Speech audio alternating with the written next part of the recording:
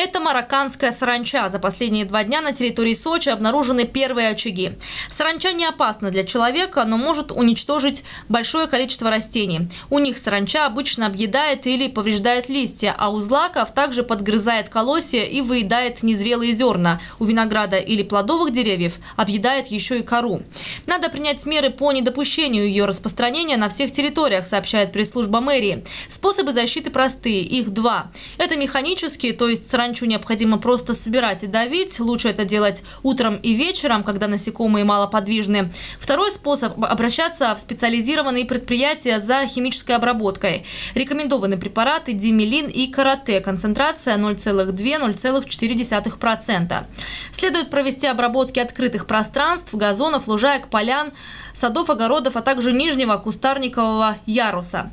Сегодня ведется работа по обработке территорий вдоль федеральной трассы, дублера курортного проспекта, Олимпийского парка, аэропорта, санаториев и пансионатов, дендрария, городских скверов и парков. Жителям рекомендуют обратить внимание на сайт Института субтропических культур. Там даны подробные рекомендации, описаны методы борьбы с саранчой и способы защиты зеленых насаждений.